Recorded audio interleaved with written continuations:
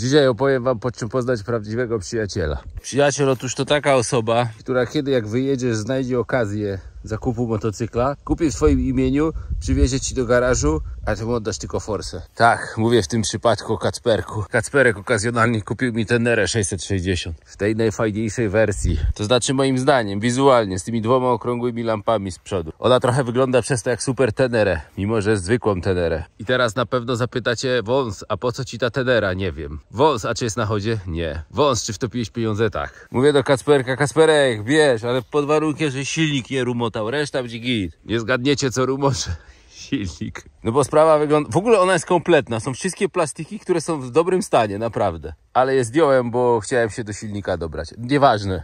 Bo jak zwykle zacząłem kręcić film, zanim... Za, zacząłem robić motor, zanim zacząłem kręcić film.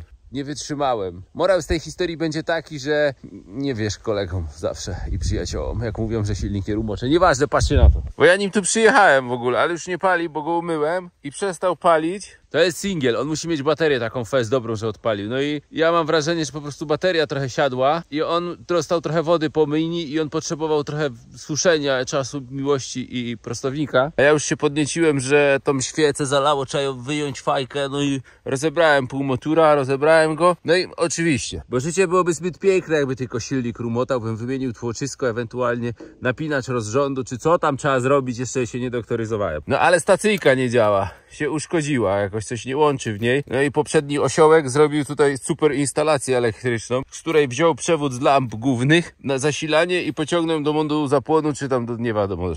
Nikt nie wie o co chodziło twórcy, a może na języku polskim byłoby tak, co podmiot liryczny miał na myśli, nie wiem. No ale podmiot liryczny wyciągnął ten kabel, połączył, na szczęście zrobił go tak, że tu jest plus i minus i one tak nie były dobrze zakręcone, one trochę wystawały, trochę się do plus, do minusa zbierał tam. No, do pożaru jeden krok. Jeden, jedyny i nic więcej. I jakżem zobaczył tą pracę, to szybko wyciąłem te kable, zostawiłem tylko, żeby wam w filmie pokazać, bo nie uwierzycie, ale cenniejszy jest dla mnie garaż niż ta Tenera. Przepraszam wszystkich tych, co wyznają Yamaha Tenerę, ale jakby miała się spalić, to niech ona się spali, nie garaż.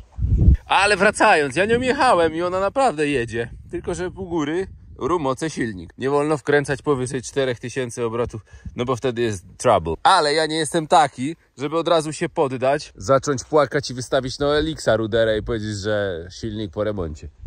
Bo powinienem tylko tłok używany kupić, albo co tam trzeba. Otóż nie, nie. Tenera będzie przechodzić remont. Oczywiście kolejny motor, który rozgrzebie i nie skończę. Ale spokojnie, spokojnie, wszystko małymi kroczkami. Nie wolno nic nerwowo. To wszystko dojrzewa, mam czas jeszcze. Zamierzam żyć jeszcze 23 lata. 4, czyli do 40 i później do 60. A później to jak przeżyję, to już mam bonusy same. Będę to robił, także... A w ogóle fajna jest rama, bo sreberkiem ktoś pomalował ją, żeby... No, żeby pewnie nie gniła już mocniej, bo już była zgnita. Zróbmy srebełko! Będzie super! Uuu, srebełko. Co się jeszcze w niej wydarzyło? No oczywiście amortyzator tylny nie trzyma. Jak ping-pong lata. Znaczy trochę trzyma. Troszeczkę.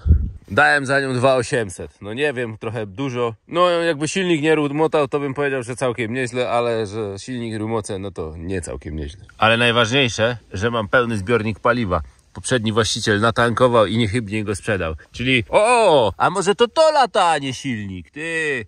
Może Kacperek miał rację. Co tu się dzieje? Ty, no może Kasperek naprawdę miał rację, że to, znaczy w sumie, że to silnik łupie, ale nie, że tu w środku, tylko to tu łupie. No łupie tak fest. Ale bym się cieszył. Ale bym go teraz odpalił. Niestety go nie mogę odpalić, bo nie odpala. No dobra, coś wymyślę. Przecież jestem taki, żeby nie wymyślić. O, dwa zawory śrubkowe, to jest życie. Chłodzenie cieczą. To jest właśnie styl, to jest klasa, to jest sznyt, to jest uwielbienie.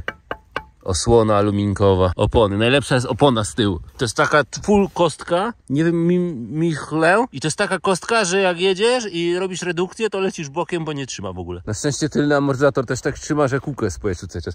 Aaaa, ale lubię to. A, zmieniając temat, bo, bo moja żona dzisiaj pojechała do roboty, bo ona zdalnie pracuje, muszę wam coś pokazać. Bo moja żona nie to, co ja, nie jest takim darmozjadem, że motorki, tylko normalną ma pracę. Pracuje w korporacji, no jak już pracuje w korporacji i to jeździ czasem do roboty, to, to zawsze jej wysyłam głosówki, żeby wszy- wszystkich musiała odpalić, patrzcie na to. Zapytała się, dzień dobry, jak tam poranek, patrzcie na to. Siema, dzień dobry! Poranek pytasz jaki? Lewo i my wstali! Chyba ledwo co? Aaa!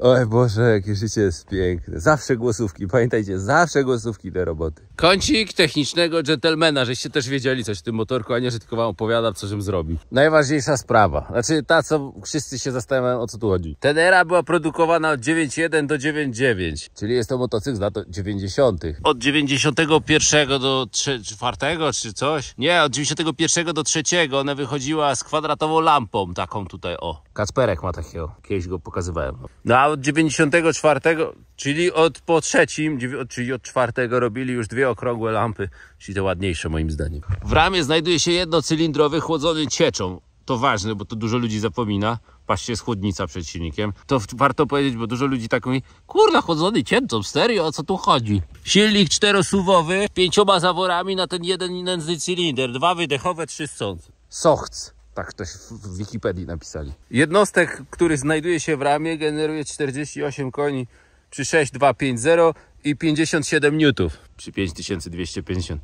Czyli więcej momentu niż koni i tak trzeba żyć. Na sucho, jak chłop nie dotankuje motora, nie ma oleju w silniku i w chłodnicy jest, susza. Waży 171 kg, a jak się okaże, że właścicielem jest burżuj, który dotankował do oporu zbiornik, to 195 kg. I z płynem chłodniczym i olejkiem. Do zbiornika nalejesz 20,5 litra paliwa. Znaczy, jak jest niewgnieciony, mu jest niewgnieciony, jest, jest git. Rozstaw osi 1495 mm.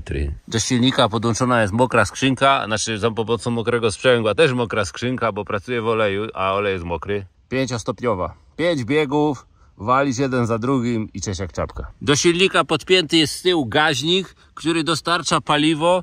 Tego paliwa, ile tam dostarczysz, tyle się spali i tak trzeba żyć, a stopień sprężania to 9,2 do 1. Czyli względnie nisko. A jak względnie nisko, to znaczy, że można lipne paliwisko stosować. O Jezus, to jest moje ulubione połączenie, patrzcie na to. Ten przewód się popsuł, więc trzeba było założyć nowy, ale że średnicę chłop miał inną, to tutaj trytytką zabezpieczył, a że gaźnika mu się nie chciało wyciągać, żeby tam nałożyć czy naciągnąć, ale ja myślę, żeby to zrobił, no to to było, to było wsadzone o tu, tutaj. I ściśnięte trytytką. I tak trzeba żyć, tak trzeba jeździć. Później olej się leje, motor się zapala. Pozdrawiam serdecznie. I teraz tak, odpaliłem sobie OLX-a, że zobaczcie ile ich jest. 20 sztuk jest wystawionych w całej Polsce obecnie. A już widzę, że się pojawiają jakieś endurka BMW, więc na pewno mniej. Najniższa cena, sortowanie, no 7, 5, coś takiego było, no 8600, ale to już to, ale to jest ładna. To jest życie, nie wiem czyje to jest, może właściciel ogląda. Chciałbym mieć taką, jaką masz, niestety mnie nie stać. Ja dałem za swoją 2700 czy 800, nie pamiętam, chyba 2800.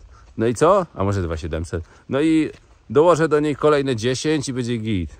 Czyli się opłacało, jak zwykle. Teraz oczywiście zacznę proces naprawiania tego motocykla. Zaraz piszę maila do Gmoto, że fanty mi potrzebne. Gmoto, fanty potrzebne, jeszcze nie wiem co. W ogóle to jest dramat, bo jak chcesz zamówić te fanty wcześniej, jeszcze silnika nie rozebrałeś, a, a jak nie zamówisz wcześniej, to później rozbierzesz ten silnik w śrubkach będzie leżał. Z tego co słyszałem, to selekcji tłoka tutaj do tego silnika to jest 83 tysiące sztuk. No uszczelniacze chyba trzeba zrobić, bo przedni hamulec to już tak trochę nie działa, bo oczywiście olej poleciał w tarczę. Oto dlaczego należy robić uszczelniacze. Można ją pomalować, a ja malować nie będę. A, zapytacie mnie, po co kupiłem ten RS660 oprócz tego, że Kasperek mnie oszukał. To już wam opowiadam. No bo wiecie, że mam GS-a 1100. Ja w ogóle chciałbym mieć całą kolekcję takich Tener, Afryk i tak dalej. I w ogóle być takim człowiekiem, który ma wszystko. Y, Wszystkie takie adventury w swoim garażyku. No i trochę marzy mi się taka wyprawa enduro pany of my life gdzieś do Gruzji na przykład. Ale to jeszcze parę lat. Akurat zdążę zrobić. Jakieś 16. Nie, 14. Moja córka będzie miała 18, no to już wtedy będę mógł wszystko robić. No to właśnie mam 16 lat na, zro- 14 lat na zrobienie tego motocykla.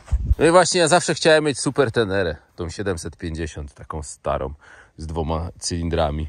No i ona miała takie lampy. No i właśnie to trochę mi przypomina no i trochę tak kupiłem dlatego. Ale to będzie dobry sprzęt. Będę se nim jeździł. No. Czemu mam nie jeździć? Zapytacie, czemu nie stoi na paletach, tylko oparta obok. A już wam opowiadam. Poprzedni właściciel próbował tutaj podłączyć pasy na przyczepce i, i za mocno pociągnął i złamał stopkę. No i nie ma stopki. Muszę kupić stopkę. A może ja tego już nie będę robił, co? Nie wiem.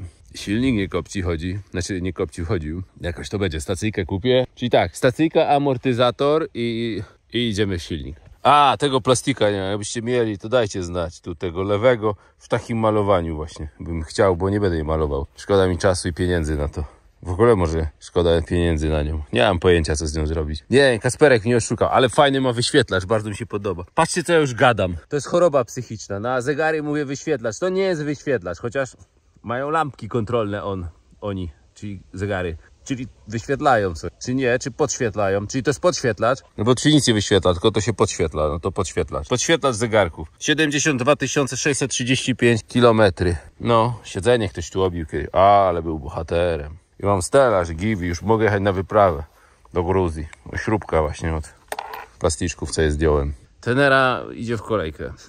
Ja bym chciał najbardziej na świecie mieć czas na to wszystko. Skąd wy ludzie, którzy macie piękne motocykle, macie czas na to, żeby je robić? Że nasz codziennie idziecie i jesteście takimi fachurami, że śrubka za śrubką dwie godziny i zrobione? Ja nie wiem, jak rozgrzebię motor, to pół roku zawsze. Lubię w tych tenerach, że one są takie tapczanowate. O, jak fajnie skacze. Że są tapczanowate, że są takie niezbyt mocne. Jednocześnie sprzęgło działa tak, tak trzeba wciskać, że można oszaleć. Tyle energii trzeba w to wsadzić. A nader wszystko ten silnik nie jedzie. I to jest właśnie fajne w tym wszystkim. I on nie jedzie, ale kiedy podjeżdżasz pod górkę, to pod górkę z bagażami, ze wszystkim, on tak samo nie jedzie się tam wdrapuje. I jesteś na szczycie. Właśnie to lubię w tych motocyklach. Zero popisówki, tylko po, po, po prostu performance. Znaczy nie taki, że na scenie, tylko performance silnika, że to, u, jesteś. Zarąbiście. Sanko. Ten przełącznik jest naprawdę niezwykły. To jest po prostu sztuka. To jest finezja. Ten, kto go założył, chciałbym go poznać. Chciałbym mu złożyć osobiste podziękowania w imieniu całej branży motoryzacyjnej, wszystkich mechaników i chciałbym ustanowić go jakimś, jego imieniem jakieś święto. Na przykład, jeżeli jest Stanisław, to dzisiejszy dzień, czy dzień, w którym to powsiął, żeby to był Dzień Świętego Stanisława. Albo Dzień Elektryka Stanisława.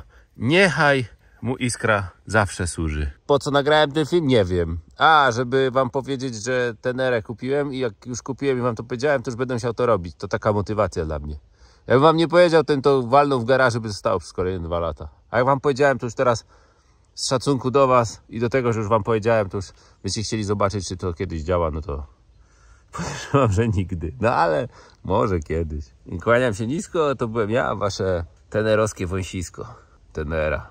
Dzisiaj to są modne tenery. Już pamiętam takie czasy, że już były niemodne, że już nie można było mieć Adventures, bo za ciężki do jeżdżenia w terenie.